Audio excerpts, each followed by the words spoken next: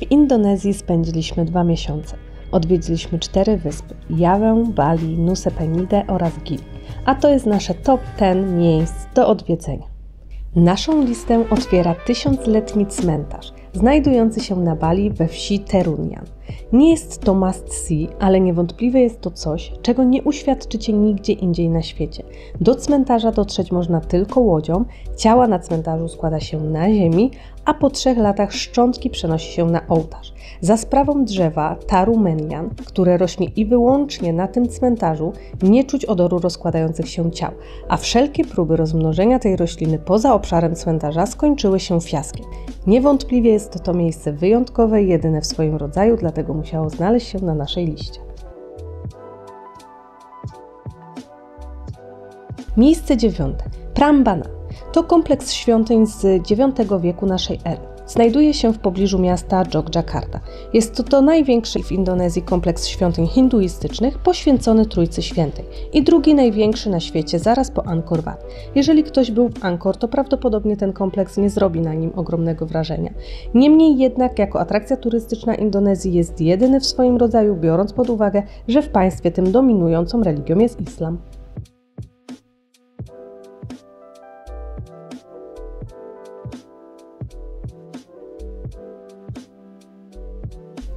Miejsce ósme. Manta Point. Jeżeli planujecie odwiedzić wyspę Nusa Penida, to koniecznie zajrzyjcie na Manta Point. Jest to nieturystyczny klif z przepięknymi widokami na ocean i rozbijającymi się falami, a jeżeli Wam szczęście dopisze, może upatrzycie w głębinach oceanu olbrzymie manty. Tłumów tutaj nie uświadczycie, a widoki naszym zdaniem dużo lepsze niż na Diamond Beach. Miejsce siódme. Wyspa Gili Travangan. Jeżeli potrzebujecie chwili relaksu i spokoju, to będzie miejsce idealne dla Was. Czas na tej wyspie się zatrzyma. Nie ma tutaj samochodów czy skuterów, a podstawowym środkiem komunikacji są tutaj konie oraz rowery. Na wyspie można wylegiwać się na plaży, snorkować z żółwiami, a wieczorem zatopić się w zachodzie słońca przy piwku z widokiem na majestatyczny wulkan Agung. Prawdziwa sielanka. Klimatu tego miejsca nie oddają nawet filmy. Miejsce szóste. Wschód słońca na wulkanie Batur. To dla nas obowiązkowy punkt na liście must do na Bali. Wycieczkę można wykupić m.in. w Ubud, z którego o drugiej w nocy wyruszycie w kierunku wulkanu. Po drodze czeka lekki trekking na sam szczyt krateru, z którego rozpościera się niesamowity widok, a towarzyszące temu wschodzące słońce powolutku otula nasze lekko zmarznięte twarze i wtedy wiesz, że dla takich chwil właśnie żyjesz.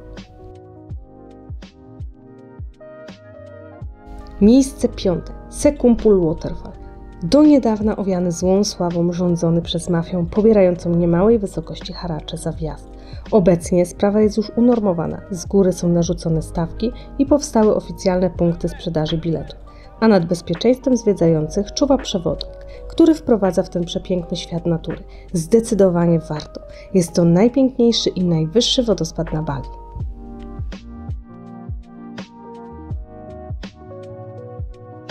Miejsce czwarte.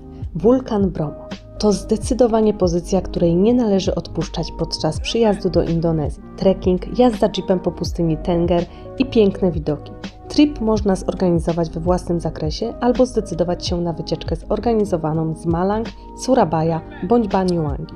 Polecamy z całego serduszka naszego przewodnika, który zabrał nas w przepiękne miejsca i zapewnił wspomnienia na całe życie.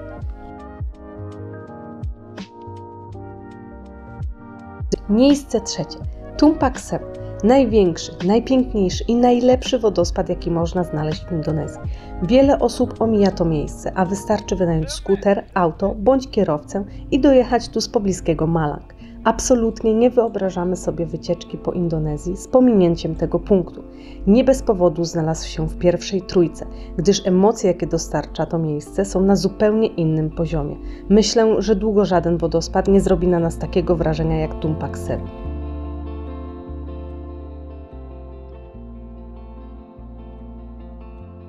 Miejsce drugie. Kelling King Beach. Plaża ta znajduje się na wyspie Nusa Penida. Odwiedza ją wielu turystów, jednak większość przyjeżdża tutaj po instagramowe zdjęcie z góry. Nieliczni decydują się na zejście po pionowej ścianie na plażę. Natomiast dopiero na dole miejsce to wywołuje niemałe emocje, ukazując siłę żywiołu, jakim jest ocean, którego nawet 10-metrowe fale rozbijają się o klify Kelling King Beach. Miejsce zdecydowanie wymagające pod kątem fizycznym, ale warte tego wysiłku.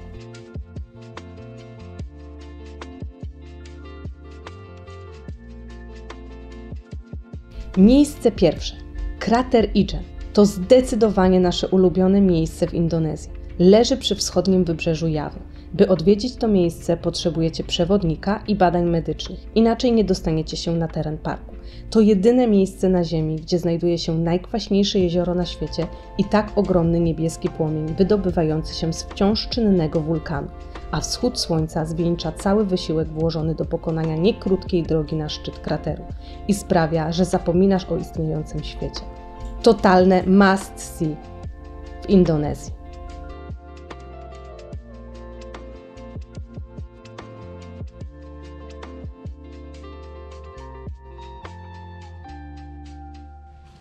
Podczas naszego pobytu nie zdążyliśmy odwiedzić Komodo, Lombok, Borneo ani Sumatry.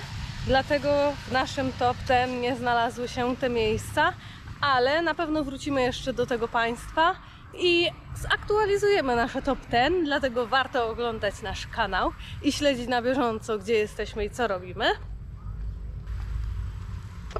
A z tych wszystkich miejsc z top 10 i nie tylko możecie zobaczyć relacje na naszym kanale na YouTube. Więc jeżeli jakieś miejsce Was zainteresowało, ale nie ma tam wystarczającej ilości informacji, która Was zadowala, to odsyłam do głównej playlisty na naszym kanale.